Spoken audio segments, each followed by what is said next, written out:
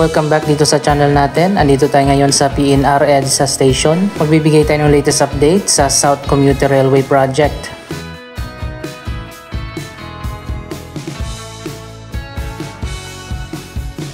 Kung babalikan natin, noong July pa, nagkaroon ng groundbreaking ceremony para opisyal nang simulan ang South Commuter Railway Project. Ang segment naman na ito ay magmumula sa Tutuban sa Maynila hanggang sa Calamba sa Laguna.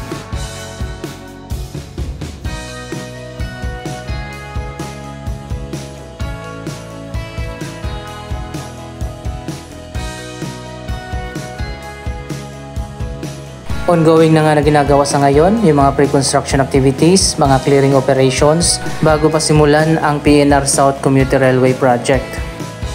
Kung matatandaan natin, huminto na at sinara na ang operasyon ng PNR mula sa Alabang hanggang sa Calamba, Laguna. Ang segment na yon ang unang sisimulan, 32 kilometers ang haba niyan mula sa Alabang hanggang sa Calamba, Laguna.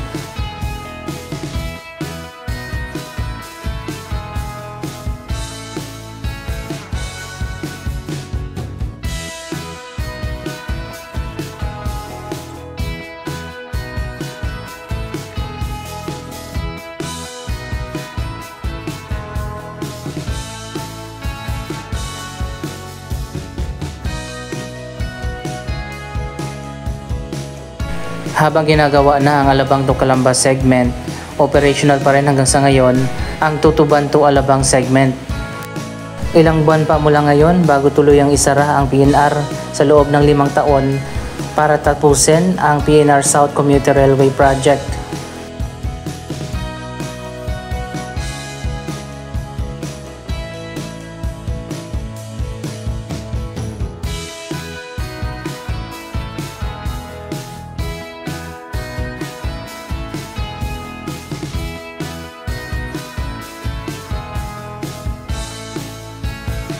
Ang 32 kilometers na bahagi ng South Commuter Railway na sinisimulan na ngayon ay bahagi ng contract package SO4, SO5 at SO6. Ang contract package SO4 ay magtatayo ng 8.5 kilometers na elevated viaduct structure. Kasama na dyan ang dalawang elevated stations sa Alabang at Muntinlupa.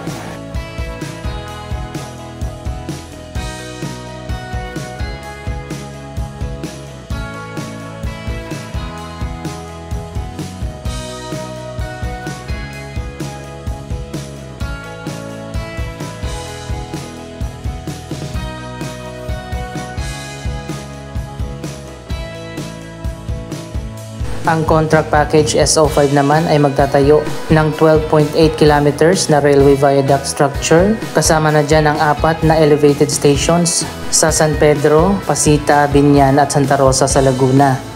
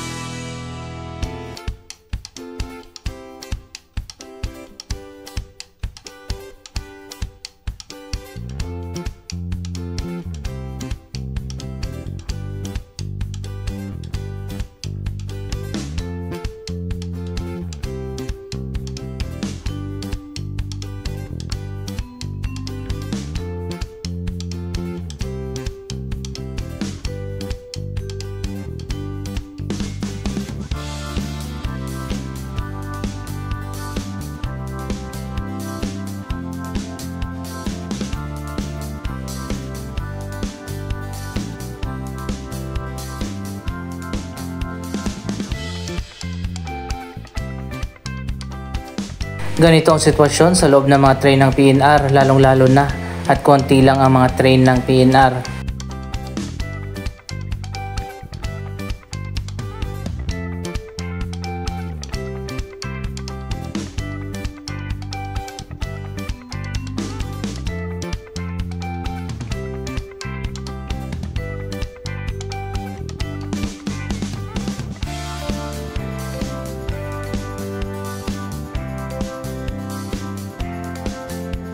Bumaba muna tayo dito sa Nicol Station para makita naman natin ang kasalukuyang sitwasyon ng mga PNR stations. Panahon na talaga na magkaroon ng redevelopment at modernization sa lumang PNR.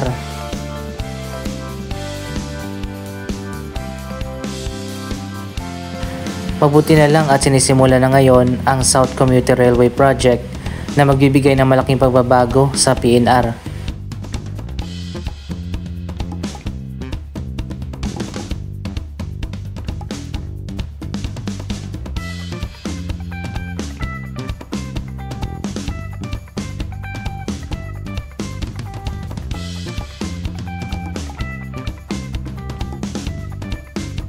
Andito naman tayo ngayon sa FTI station ng PNR. Dito naman ang magiging railway hub at transportation hub sa susunod na mga taon.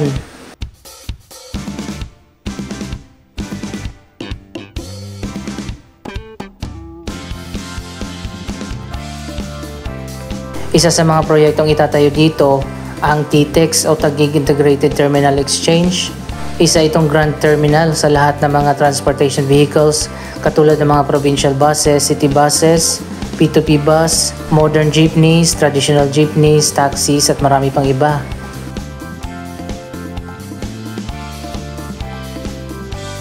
Magkakaroon pa dito ng regional mall, hotel at marami pang iba.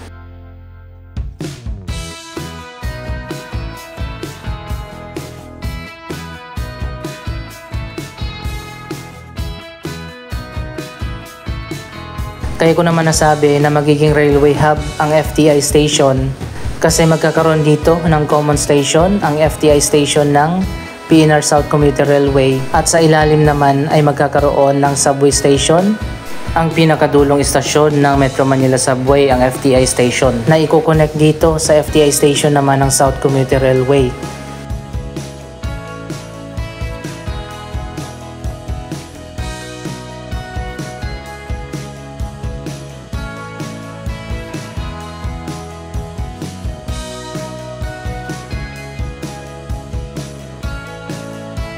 Balik tayo sa topic natin kanina, ang Alabang to Calamba segment ng South Commuter Railway.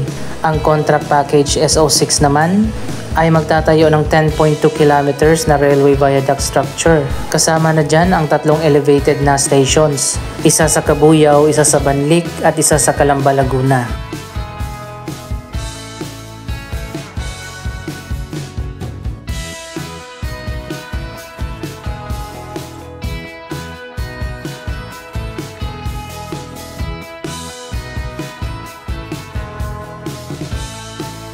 Sa Banlik, Laguna naman itatayo ang depot ng South Commuter Railway Project.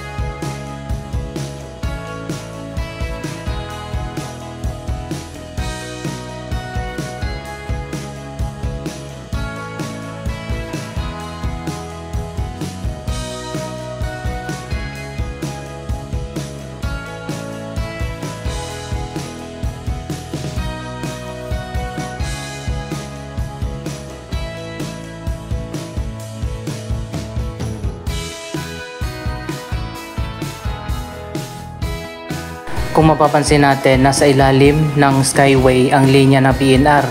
Hindi ko lang alam kung magiging elevated ba ang magiging disenyo ng FTI station na itatayo dito.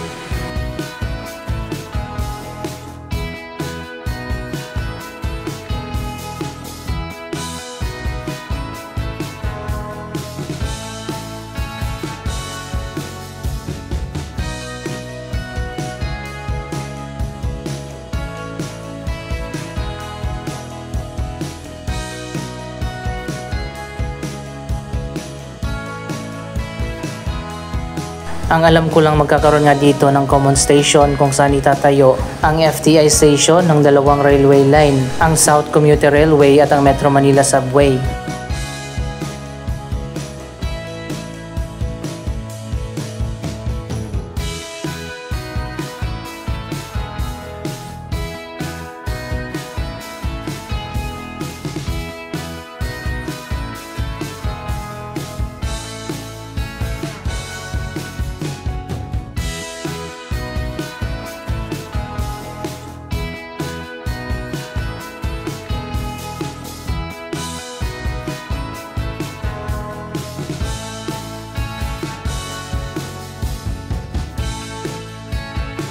Abangan na lang natin kung ano magiging disenyo ng FTI station na itatayo dito sa lugar na ito.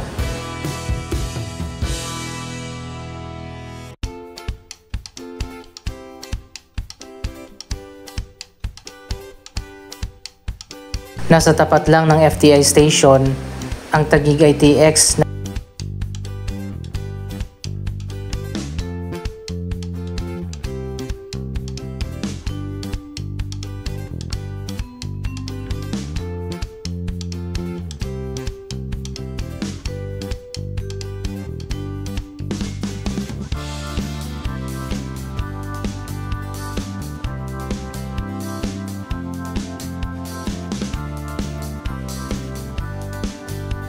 Para sa mga looking forward na sa South Commuter Railway Project, ito ang Sukat Station.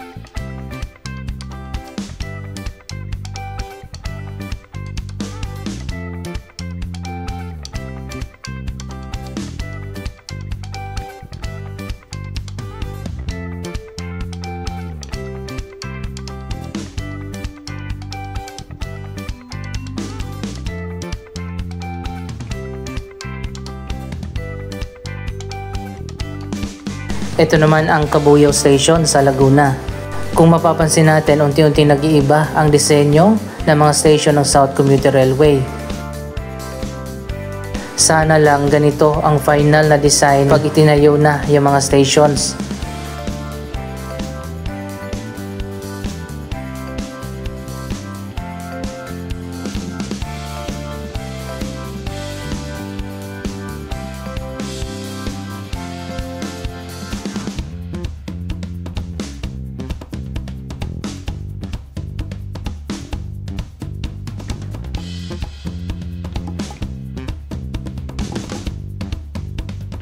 Ito naman yung mga latest na design ng iba pang mga stations.